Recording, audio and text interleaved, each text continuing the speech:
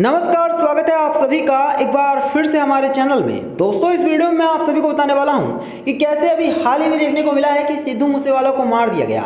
लेकिन अब एक सीसीटीवी फुटेज सामने आया है जिसमें चौंकाने वाला खुलासा हो रहा है और कातिलों ने दोस्तों बहुत सातिर तरीके से सिद्धू मूसेवाला को खत्म किया है। इसके बारे में खुलासा हो चुका है और कहा यह जा रहा है कि ऐसे बहुत सारे लोग हैं जो कि मिले हुए थे सिद्धू मूसेवाला को खत्म करवाने में। और तो और, यहाँ तक कहा जा रहा है कि सिद्धू मूसेवाला को जिन लोगों ने खत्म किया, उनके अपने ही कुछ लोग मुजरिमों से मिले हुए थे। और दोस्तों, आपको बता दें कि सिद्धू मूसेवाला को जिन लोगों ने भी खत्म किया, वो पहले से ही जानते थे सारी चीज़ें कि सिद्धू मूसेवाला कब अपने घर से निकल रहे हैं। साथ ही साथ उन लोगों को यह भी पता था कि सिद्धू मूसेवाला अकेले ही निकलेंगे अपने घर से। ऐसे में एक बात तो साफ़ है कि सिद्धू मूसेवाला की पर्सनल जानकारी ज़रूर उनका कोई अपना ही शेयर कर रहा था। और इसी वजह से सिद्धू मूसेवाला के ऊपर इतना बड़ा जानलेवा हमला किया गया और उनको खत्म कर दिया गया।